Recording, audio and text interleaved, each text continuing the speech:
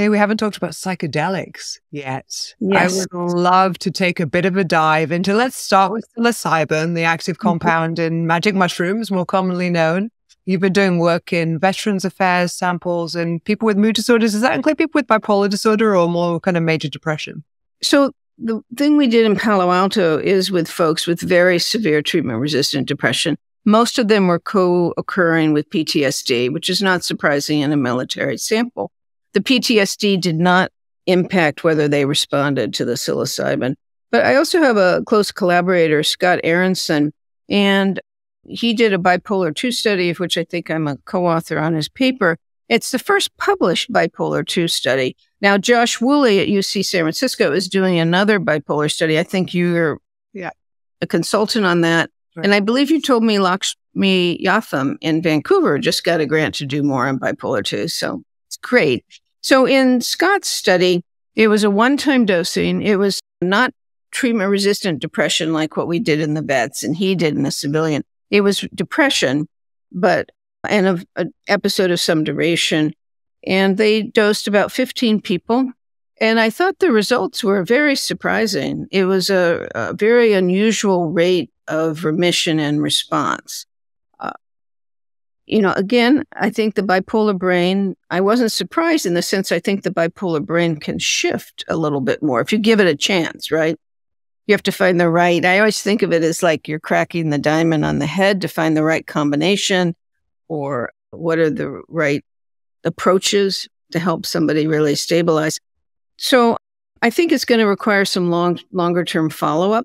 I also know some of the other studies may not be finding quite the same rate of remission and response.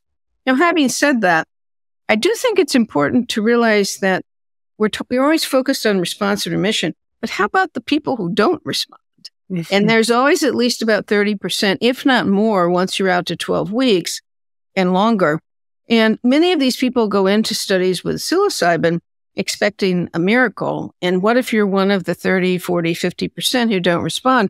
That can be uh, really devastating. And I feel, unfortunately, the media is still doing somewhat of a disservice.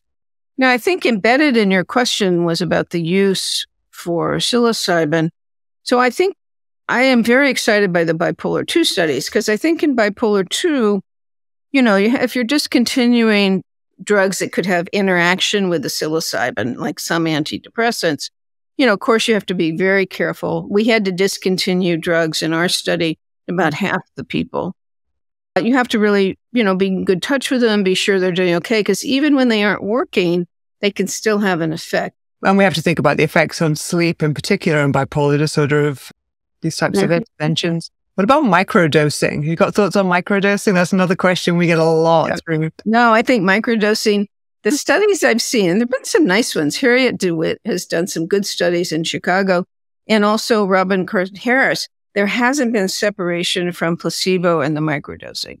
And what kind of samples were those studies? LSD, and they were uh, up to 100 people. They weren't small. Some of them were good placebo crossover studies, I thought, where the patient was masked. They just really didn't know what they were getting. And in those studies, there wasn't a difference. Everybody reported some benefit, but there actually wasn't a lot of, there wasn't difference between placebo and microdosing. So one of the things I feel that we're learning from so really psychedelics that we haven't yet started working on is the power of the mind. So if microdosing is as effective as a placebo, that's interesting. And if we're getting surprising results with psilocybin, if somebody stays well for 9, 10, 12 months who've been ill continuously for 10 years, I think that we need to sit up and think about what that's telling us. It isn't always the drug. It might also be something going on remodeling in the brain. There's more to come. I think people are not done looking at microdosing. And LSD in particular is easier to microdose because it's such small quantities and it's synthetic.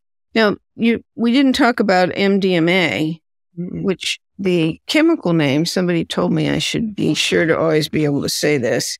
It's 3 4 methylene dioxymethamphetamine. Well done. That's MDMA. and MDMA is probably going to be approved, barring unexpected hitches by the FDA. It'll be rescheduled, if assuming there aren't big hitches. They've had two successful phase three studies, which is the requirement to petition the FDA for approval. And if it's approved, it would be for PTSD. Mm-hmm. So the fact it is an amphetamine again would suggest that in bipolar disorder, it should be used with caution. Mm-hmm. But watch this space. Yeah, I think so. I think there's a lot more to unfold with MDMA. Again, you're decreasing meds that could interact. Right. So, but I, I think the space is not done. I mean, we're at the hopefully the front edge of about 20 years of research. And I think there's just a lot more to learn. I just think it's important to remember not everyone's going to respond. Some people will respond, and we're just still learning about who responds and why do they respond. We don't know yet. So it's an interesting set of studies for sure. So would that be something that we'd call kind of personalized medicine approaches, thinking about, yeah. Yeah, I think that would fall under personalized medicine because if we can predict who will respond better than someone else, I think that's can be a big step forward.